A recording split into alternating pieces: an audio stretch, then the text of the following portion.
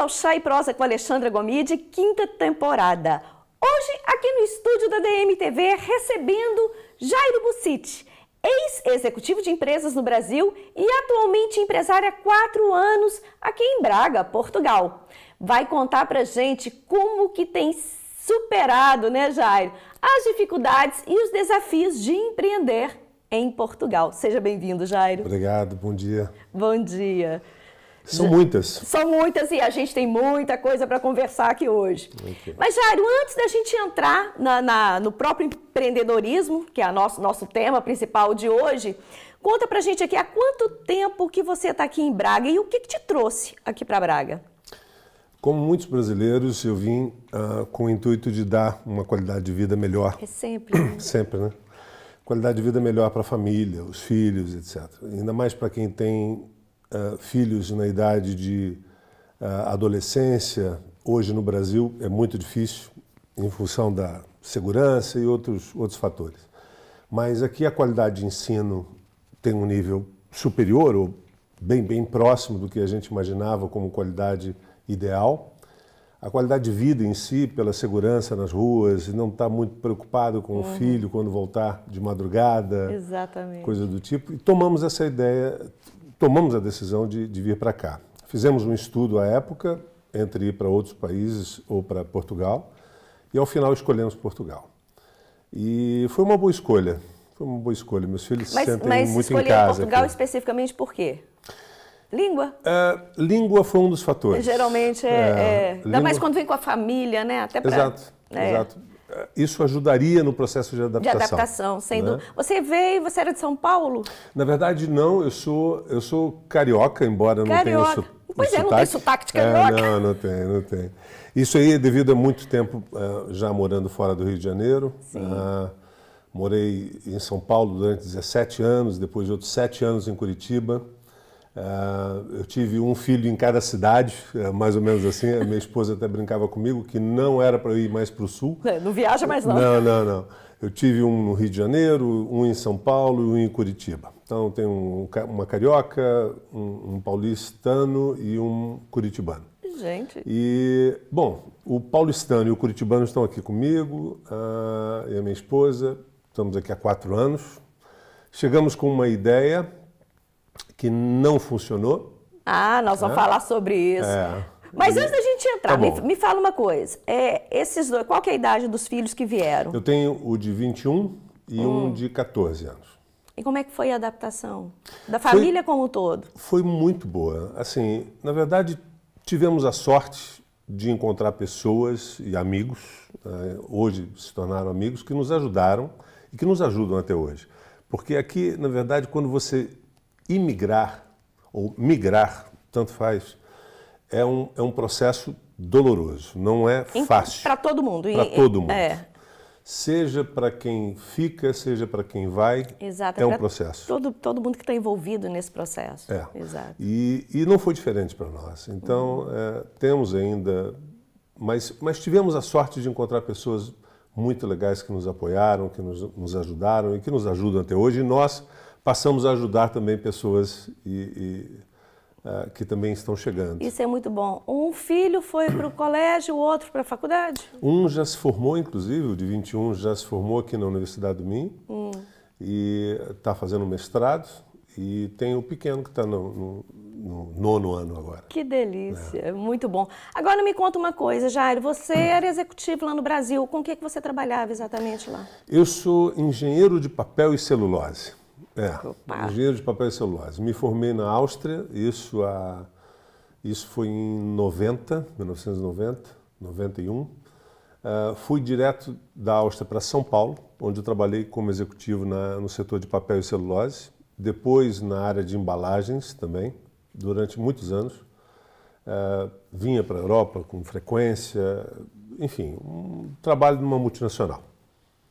Uh, durante todo esse tempo, uh, fui uh, vivenciando experiências dentro do setor de papel, do setor de embalagens, e um dia resolvi empreender no Brasil. E na época, dentro do setor, dentro da área que eu trabalhava, mas ao final não, não funcionou. Você Ser empresário em qualquer lugar do mundo é difícil. É desafiador, é sem desafiador. dúvida nenhuma. E o que efetivamente faz com que o empresário tenha sucesso é determinação, persistência, não desistir nunca, uh, por mais difícil que seja. E isso não vou dizer que as dificuldades uh, surgiram e foram embora. Não, elas existem até hoje. Uhum. É um processo e vai existir constante sempre, né? e vai existir, vai existir sempre. sempre é. E lá no Brasil não funcionou. Vim para cá, fiz algumas primeiras tentativas. Pois é, mas você já você veio para Braga pensando em empreender? Já, já era uma intenção sua? Essa era, na verdade, a minha ideia era manter. Eu tinha já um negócio, uma empresa de consultoria no Brasil, uhum. que tenho até hoje, uh, na área tributária. Uh, porque dentro das minhas passagens eu passei como um, um, executivo de uma empresa de auditoria e consultoria. E nesse setor uh, eu tive uma equipe, e essa equipe fantástica, e hoje, até hoje eles estão comigo. Mas quando eu cheguei aqui, eu cheguei em dezembro de 2019. E esse dia foi bem marcante porque eu tinha um plano de volta para o Brasil para continuar esse negócio lá e viver desse negócio aqui, uhum. com esse negócio no Brasil. Mas aí veio a pandemia. né? É e aí isso. foram quase três anos praticamente aqui em Portugal. Ela, ela foi mais intensa no sentido de de, de lockdown, né? uhum. né? então aqui perdurou por mais tempo. Um, e aí o negócio meio que. Pois é, porque você chegou aí aqui em Braga, você é, fez algumas tentativas muito na área da restauração. Foi. Não é foi, isso? Foi. É, fala um pouco pra gente da, de, das dificuldades vividas, especificamente nesse primeiro negócio. Por que, que deu errado? É. Tem uma justificativa, a gente consegue apontar.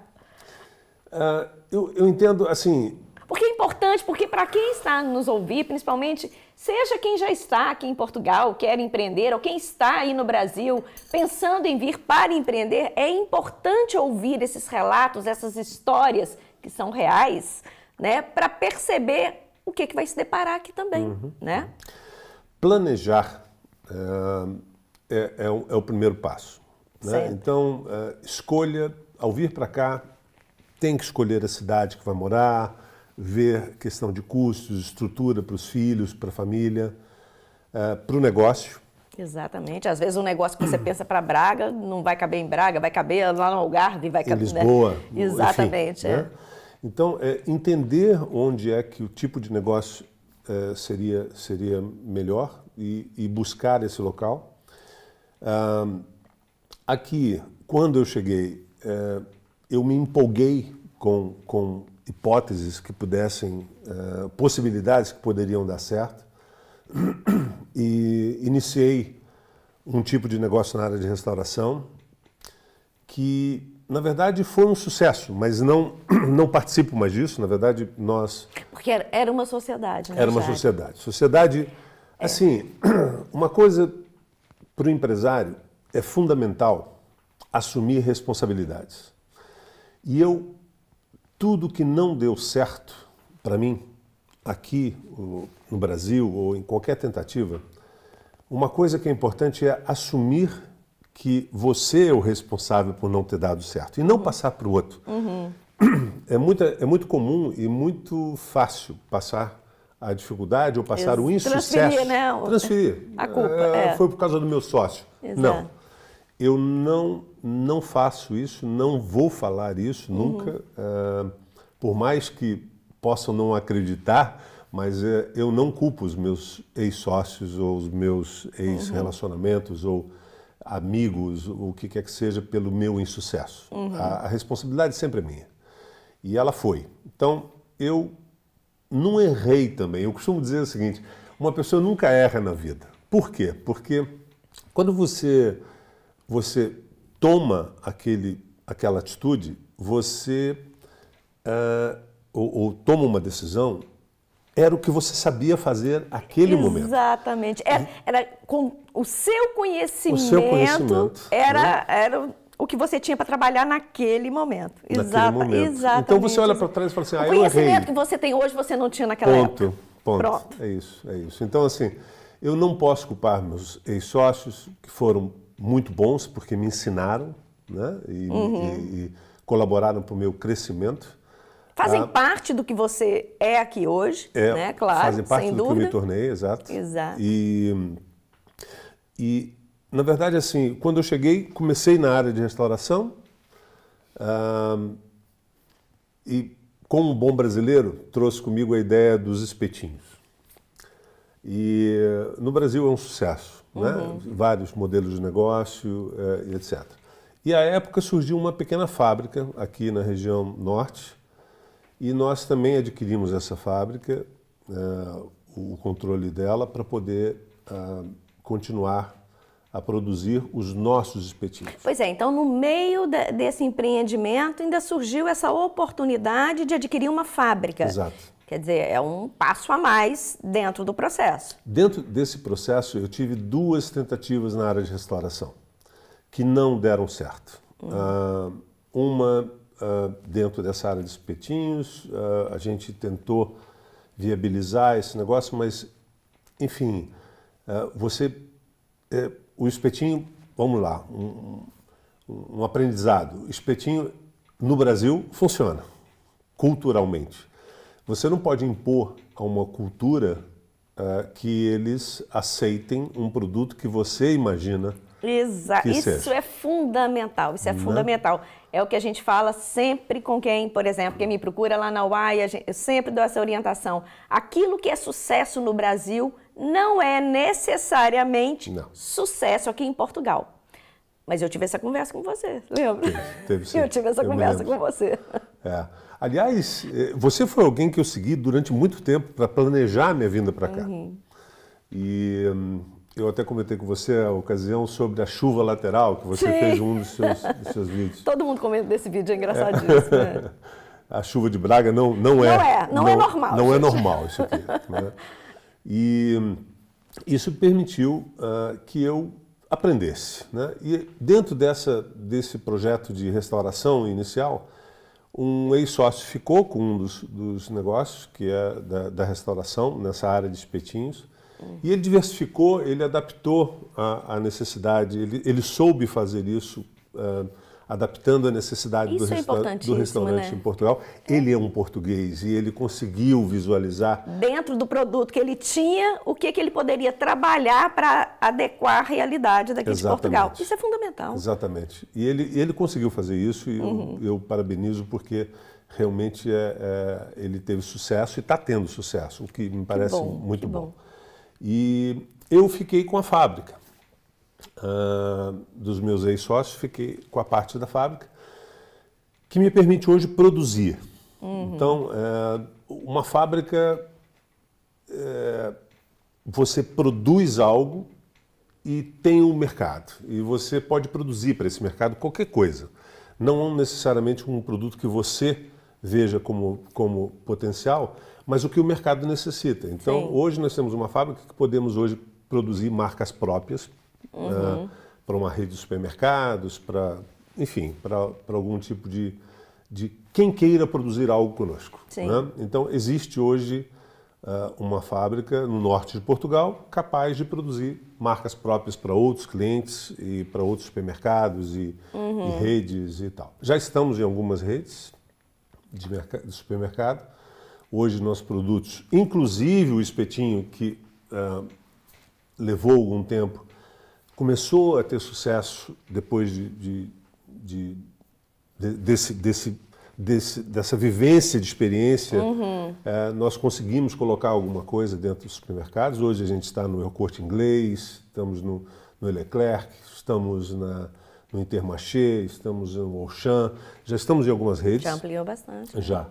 E, e a nossa meta é produzir para essas redes. Uhum. Então, é, hoje você colocar uma marca no mercado também é muito difícil. Claro. Não se esqueça, você colocar um produto novo, mesmo que esse produto seja vendável em, dentro desse mercado, uh, mais aceito, é, é extremamente complicado você firmar uma marca. E fazer com que esse produto seja conhecido. Exatamente. Então, os custos com marketing, propaganda, etc., são enormes. Exatamente. Então, você Porque são fundamentais. São fundamentais. Você fazer com que esse produto Ex seja conhecido para então começar a girar dentro dos supermercados. Claro, claro. Né? E não pode subestimar. É um investimento alto. Uhum. E para se tornar conhecido. E então nós resolvemos falar, fazer o seguinte, olha, vamos produzir para terceiros, porque as marcas já são já são conhecidas. Já são conhecidas. É uma é, boa estratégia. Você é. você não precisa ter o orgulho de ah, eu tenho uma marca de minha. Ser o dono da sou marca. dono da marca. Não, absolutamente. Basta você fabricar para a melhor marca. é, é, bom ser, é bom ser, é bom ser um, um um, um produtor para uma melhor marca, para uma marca claro, que vende bem, certeza. você já encurta um caminho enorme, Exato. que é o de chegar. Tira o ego. Tira o ego. E entra no bolso. E entra no bolso. E você, você passa a ser dono não de uma marca, mas de uma fábrica. Exatamente. Né? Então, Exatamente. Mas isso não exclui as dificuldades, não exclui. Ah, as noites sem sono. Lógico, lógico. Ah, não exclui a lágrima. É um negócio, né? É. E, e, tem que cuidar. E me fala uma coisa, Jairo, a, questão da fábrica, essa burocracia toda, porque eu imagino que, por exemplo, abrir um estabelecimento aqui, um comércio, tem lá suas burocracias, mas eu imagino que abrir uma fábrica, nesse caso você já comprou a fábrica, mas é, é, o processo de reconhecimento dessa fábrica, eu imagino que seja uma coisa trabalhosa, né? É muito trabalhoso. Uh, na verdade, quando nós compramos a fábrica, nós uh, entendemos que ela já tinha todas as condições para poder evoluir. O que já ela foi um tinha uma passo licença, grande à frente. É. É. Aqui em Portugal, a exigência com relação à qualidade e à segurança alimentar segue padrões europeus. Sim.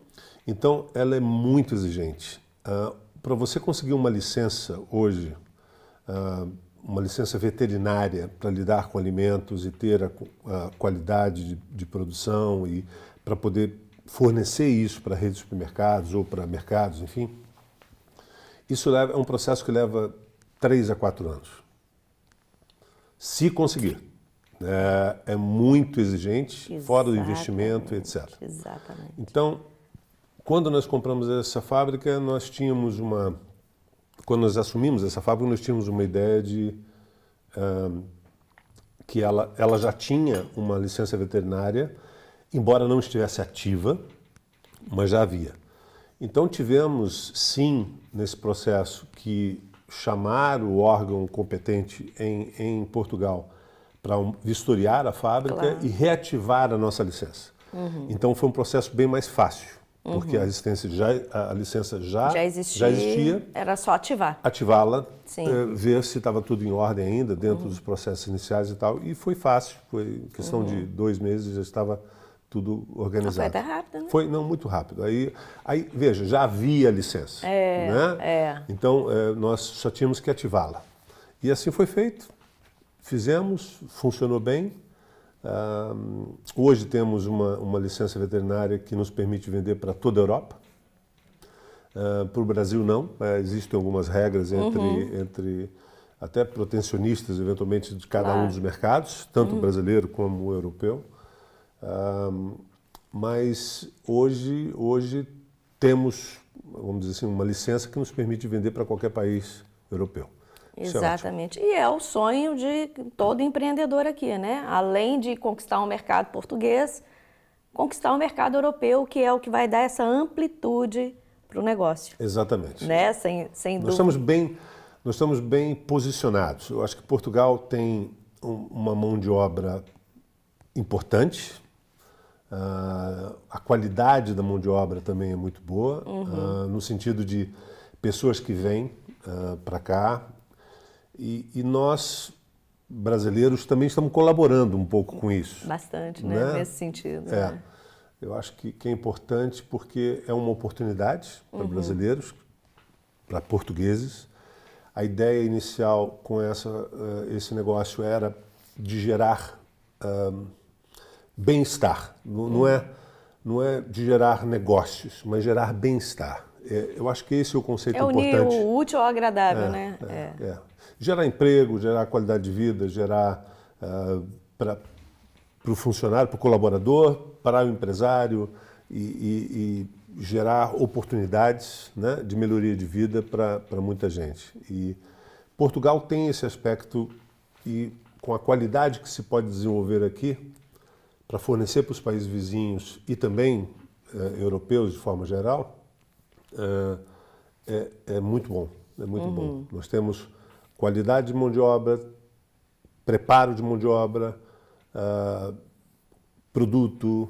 Nós temos um, vários produtos aqui bons para poder exportar. Eu acho que Portugal tem uma característica essencialmente exportadora, porque o mercado é um mercado ainda pequeno comparado com outros, uhum. outros potenciais europeus, mas é, tem potencial. Então, acho que quem vir para cá e pensar em ter um negócio aqui para fornecer, a, a, visão não pode ser fornecer para Portugal. Com certeza. Ela com tem certeza. que ser de fornecer para a Europa. Exatamente, para ter um mercado mais sustentável, né? Me diziam, me diziam sempre quando eu cheguei aqui, falavam, já você vai empreender em Portugal e tal, um mercado de 10 milhões de habitantes e tal. Eu falei, não, não é verdade.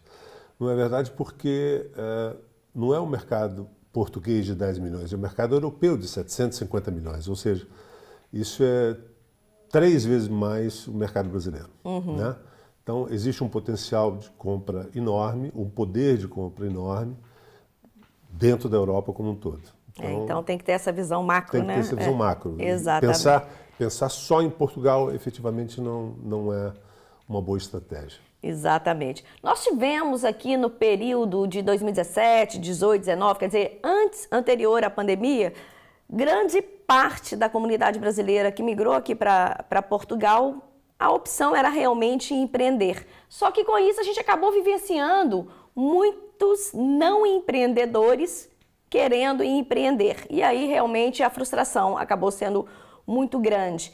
É, mas a gente sabe que hoje ainda tem pessoas aqui em Portugal que pensam em empreender, já vivem aqui, já estão estabilizados e, pensam, e pensam, né? Ainda estão alguns anos aí já analisando o mercado e querem continuar é, nessa carreira de empreendedor aqui e está dando esse tempo. Mas nós temos também pessoas lá no Brasil que ainda pensam em vir para empreender, embora sejam pessoas atualmente com muito mais pés no chão. Para essas pessoas que pensam em empreender, ô Jairo, é, o que, que você apontaria das principais dificuldades para se empreender aqui em Portugal? Um, eu acho, uh, assim, na verdade, empreender é algo que começa pequeno. Quando se fala em empreender, ah, eu vou empreender. Você não tem que começar com algo grande. Um, o principal, a principal recomendação é iniciar com algo que se conheça ou que se possa fazer por, pela própria pessoa, ou seja, sem ter funcionários. Ah, fundamental, é. porque essa é a realidade daqui. Daqui. Então, uh, hoje em Portugal, se você olhar um, um café, por exemplo, uh, o café ele é uma estrutura ou é um negócio familiar. Então você tem o dono, o pai que passou para o filho e, e, todos vivem desse negócio, uhum. mas é, é, um negócio onde todos trabalham, uhum. onde o pai, a mãe, o filho trabalham no negócio, sem, sem contratar gente de fora, sem pensar grande, sem. Isso não impede de pensar grande. Uhum. Eu acho que a, o pensamento e o sonho tem que estar ali na cabeça uhum. e colocado para a vida. E você tem que ir em busca disso. Mas começar pequeno para poder chegar até lá. Isso aí eu aprendi a duras penas. é, aprendi a duras penas. Sentindo na pele. Sentindo né? na pele. É. E é importante né, a gente ter a oportunidade de estar aqui hoje conversando com quem está nos assistindo, passando essa, essa realidade, essa vivência, para que menos pessoas passem, né? Você passou, eu também passei. Uhum, e quem uhum. não, né? Quem, quem empreendeu aqui, quem não? Uhum. E quem não na vida passou Exatamente, por alguma dificuldade, né? Então, assim, as dificuldades são inerentes ao processo de crescimento. Claro, claro. E, em qualquer área, seja uhum. na área pessoal, na área de trabalho, enfim.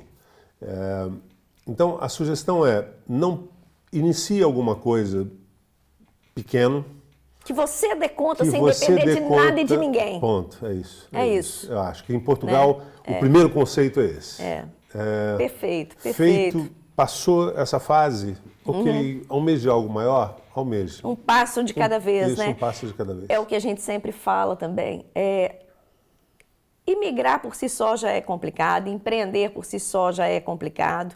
É, quando junta os dois, a paciência, a resiliência, né, a, a persistência são fundamentais para que esse processo se desenvolva. E é, você está aqui há quatro anos. Uhum. E era um, um empresário experiente do Brasil.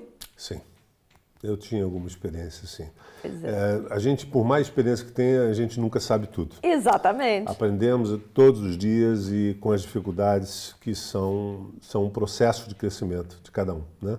Agora, é, é fundamental vir para cá é, ou para qualquer outro lugar. Né? Eu tenho, quando eu vim para cá, teve amigos meus que foram para o Canadá, por exemplo. Uhum.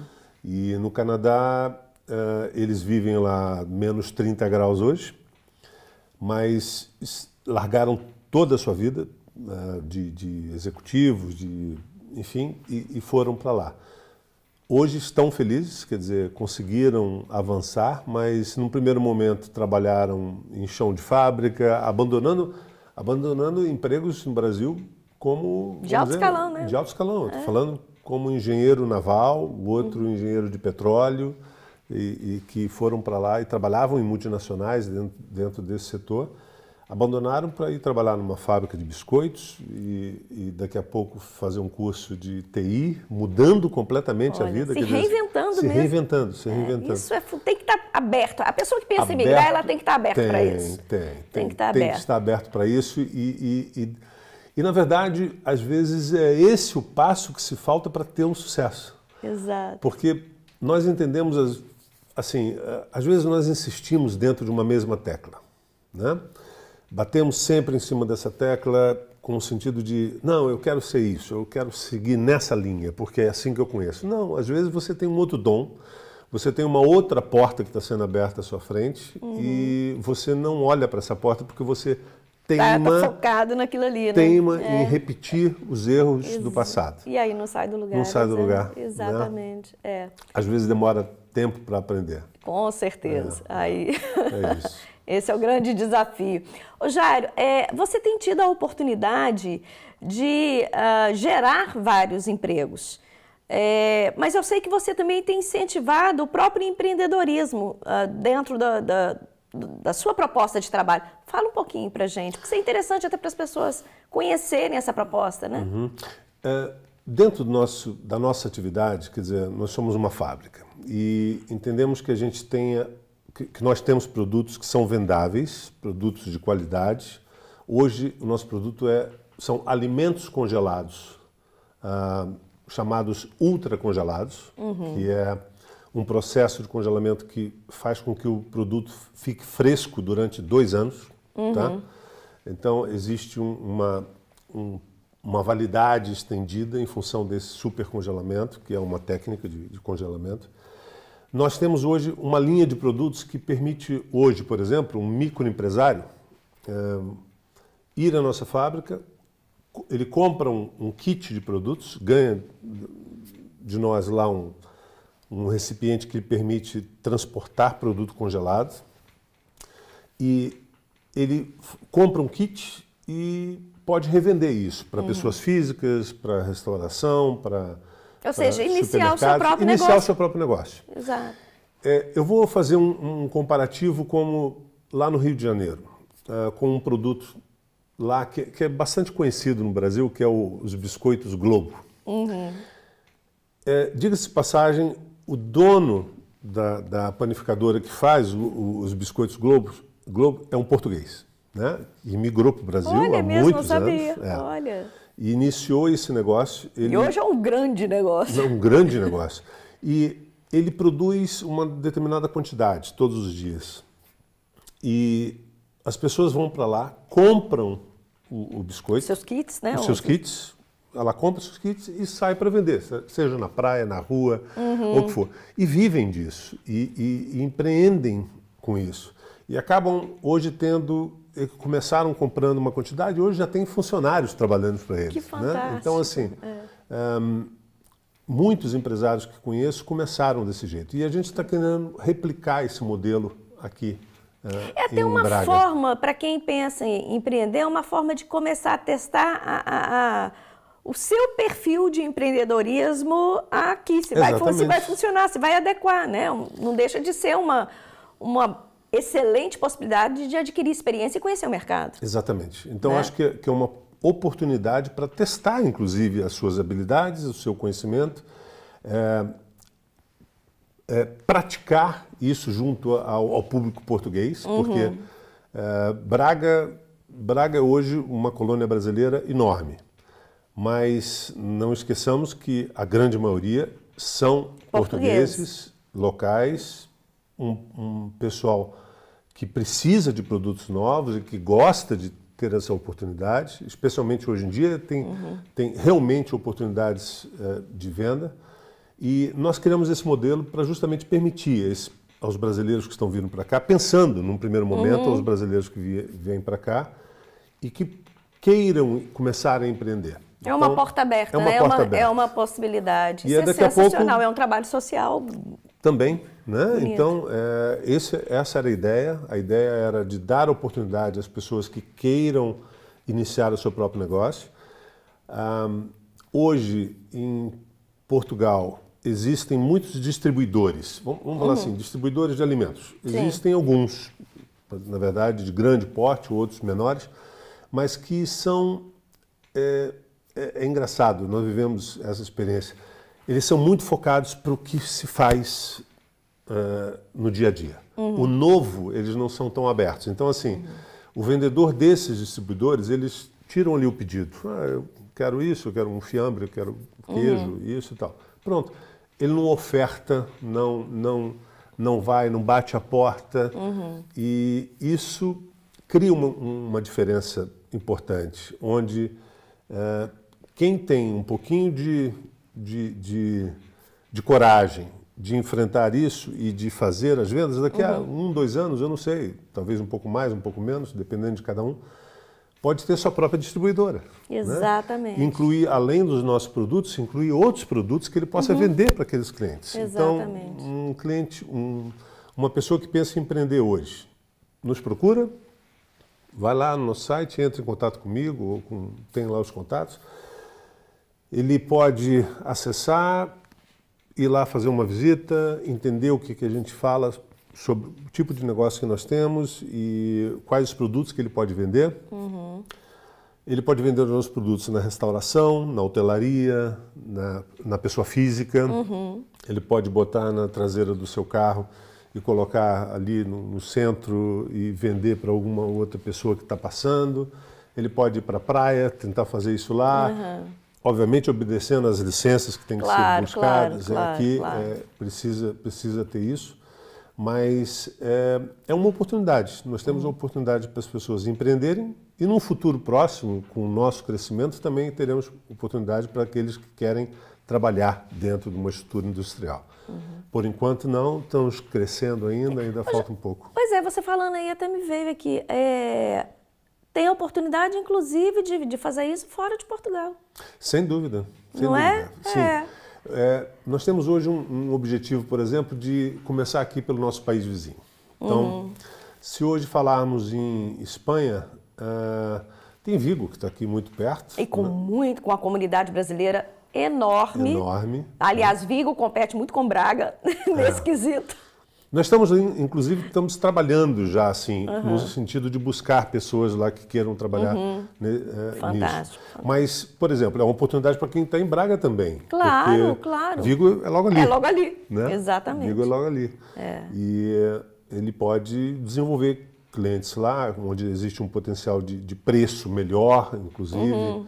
Um, e uma comunidade de brasileiros enorme. Enorme. Não só brasileiros, mas de restauração, de cafés. E, Exatamente. É, tem, é um mercado ativo lá também. É, é, é muito. muito ativo. É. Imagina assim, uma pessoa vai à nossa fábrica, compra o kit dela, e ela pode comprar um, dois, três, enfim. Uhum. Ela compra, põe no carro, ela já comprou um preço mais competitivo e ela consegue colocar um, um preço sobre esse valor para vender para restauração, uhum. para vender para hotelaria, para vender pessoas físicas. Ela pode criar um grupo de WhatsApp e fazer, ou entrar nos grupos de WhatsApp uhum. que nós uhum. temos aqui em Portugal e começar a acessar pessoas e, e fazer promoções de vendas. Então, assim, uhum. assim, ela acaba iniciando um processo um negócio, é. de negócio. Né? Exatamente. Começa, inicia o processo de, de ter seu próprio negócio aqui. Exato.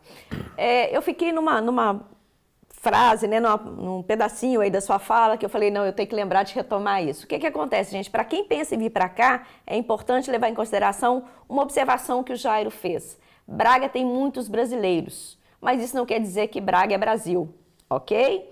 Então, o maior mercado aqui continua e deve continuar, com certeza, a ser o português. Então, ajustar o seu negócio a Portugal, a comunidade portuguesa é fundamental para o sucesso. Né? É fundamental. Quando você tocou, eu falei, eu tenho que, eu tenho que não, retomar não. isso aí, porque muita gente, eu vejo muita gente cometendo esse erro. A Braga tá cheia de brasileiro, então meu negócio lá vai dar certo, porque tem a comunidade brasileira. A comunidade brasileira não vai segurar o seu negócio. Não, definitivamente não. Definitivamente não. Isso é importante vocês terem em consideração. Já no nosso tempo chegando ao final, que mensagem você deixaria aqui para quem nos acompanha? Pós-pandemia, nós vivemos um momento de aprendizado. Parece que reiniciamos todo o processo. Ah, e nós estamos nos reinventando.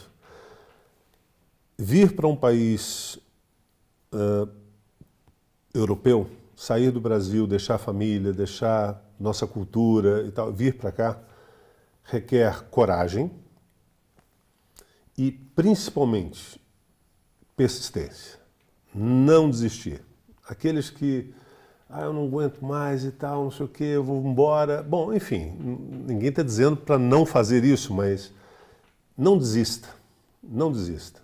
Se quer empreender, vá em frente escolha alguma coisa. Não é o meu tipo de negócio, não é de outro, é o, é o negócio que ele imagina uhum. que possa uh, funcionar. Focar em cima disso, persistir em cima disso, não desistir e saber que vai enfrentar dificuldades, vai ter outras para superar, tantas para superar, mas não parar, não desistir, uhum. continuar, continuar, continuar, por mais difícil que possa parecer, vai chegar lá. Chega lá. Tá bom? Muito obrigada, Jair. Foi uma você, alegria. Obrigado aos seus. Poder recebê-lo aqui no nosso Chá e Prosa, para essa, essa conversa, essa prosa, né? Uhum. Sempre muito bom conversar com você. Obrigado, obrigado. Muito obrigada e sucesso né? Lá na Fábio. Para todos nós. Obrigado. obrigado. Bom, continue nos acompanhar aqui no Chá e Prosa com Alexandra Gomide, sempre aos sábados, quinzenalmente, às 17 horas de Portugal, aqui na DMTV, e às 17 horas do Brasil, no canal YouTube Olhar Brasileiro em Portugal. Até o próximo programa. Tchau, tchau.